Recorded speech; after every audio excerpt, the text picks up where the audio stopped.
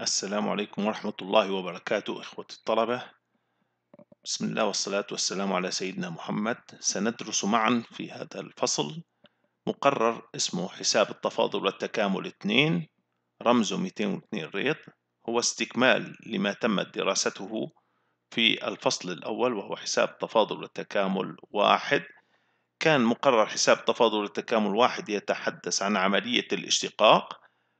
في المقرر الذي بين أيدينا سندرس عملية معاكسة لعملية الاشتقاق والتي تسمى بعملية التكامل.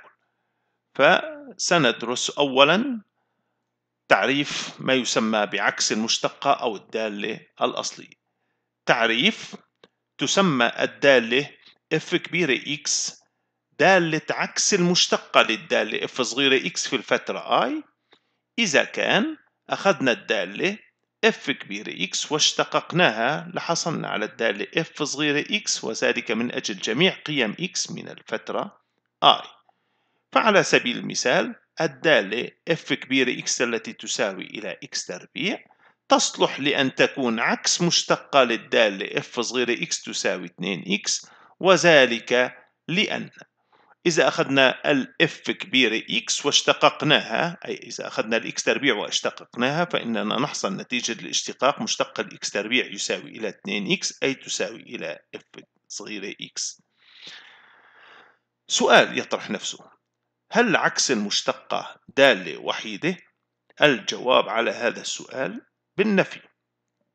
حيث أنه يوجد عدد لا نهائي من الدوال يصلح لأن يكون عكس مشتقة للدالة f صغيرة x. فعلى سبيل المثال إذا عدنا إلى المثال الأخير الدالة f1x التي تساوي إلى x تربيع زائد 2 والدالة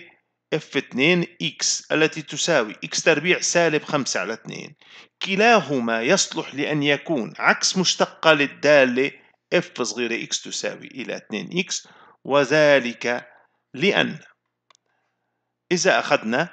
الدالة الأولى f1x وأجرينا عملية الاشتقاق لها أي إذا أخذنا الإكس تربيع زائد 2 واشتققناها فإنه حسب قواعد الاشتقاق التي درسناها هذه مشتقة الأولى زائد مشتقة الثانية مشتقة الإكس تربيع هي 2x مشتقة الثابت صفر و2x زائد صفر يساوي إلى 2x أي يساوي إلى f صغيرة x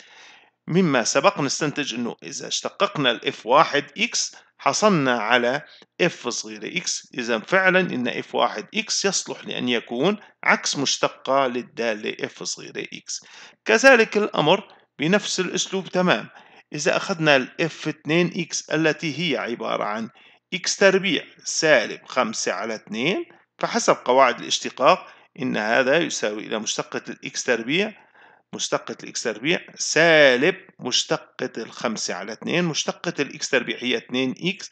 ومشتقة الخمسة على اثنين هي صفر و2 إكس سالب صفر يساوي إلى 2 x أي يساوي إلى f x وهذا ما يؤكد على أن إف 2 x يصلح لأن يكون عكس مشتقة لل f صغيرة x. على وجه العموم فإن الدالة f كبيرة x تساوي x تربيع زائد c حيث c ثابت من r هي عكس مشتقة للدالة f صغيرة x تساوي إلى 2x وذلك لأنه إذا أخذنا ال f كبيرة x التي تساوي x تربيع زائد c وأجرينا عملية الاشتقاق لها فإن مشتقها يساوي مشتق ال x تربيع هو 2x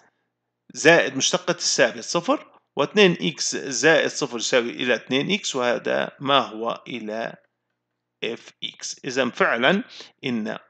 أسرة كل عكس المشتقات للدالة fx هي عبارة عن x تربيع زائد ثابت. في الجدول التالي المثال التالي ترون جدول يحوي على مجموعة من الدوال كأمثلة عن دالة وعكس مشتقة لها. فالدالة x تربيع تقبل عكس مشتقة لها هي تلت x تكعيب زائد ثابت والدالة ثمانية x تكعيب تقبل عكس مشتقة لها 2 x أس 4 زائد ثابت. كذلك الأمر cosine x يقبل عكس مشتقة له هو الدالة آه sine x زائد ثابت. السؤال الذي يطرح نفسه ما هي العلاقة التي تربط بين عكسي مشتقة لنفس الدالة؟ الجواب في النظرية التالية نظرية تقول على أنه إذا كانت f كبيرة x عكس مشتقة للدالة f صغيرة x وكانت g x أيضا عكس مشتقة ل f صغيرة x في نفس الفترة عندئذ فإن الدالة g x يمكن الحصول عليها من ال f x وذلك بإضافة ثابت أو بكلمة أخرى إن فرق عكسي مشتقتين لنفس الدالة يساوي إلى مقدار ثابت أي أن الجيل x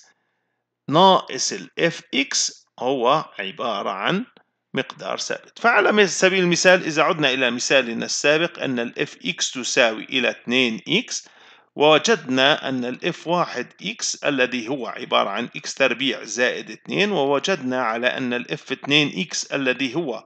x تربيع سالب 5 على 2 كلاهما عكس مشتقة للدالة f صغيرة x تساوي 2x من هنا إذا حسبنا حاصل طرحهما أي إذا حسبنا f1x ناقص f2x لوجدنا أنه يساوي إلى x تربيع زائد 2 ناقص x تربيع ناقص 5 على 2 وهذا بفك الأقواس نحصل على x تربيع زائد 2 ناقص x تربيع زائد 5 على 2 وهذا يساوي طبعا x تربيع موجب. وسالب x تربيع يمكن أن نحصل على الحياد بالنسبة لعملية الجمع وهذا يبقى لدينا 2 زائد 5 على 2 طبعا عدد زائد كسر لا يمكن جمعهما إلا بعد توحيد المقامات. الاثنين تكتب على شكل 4 على 2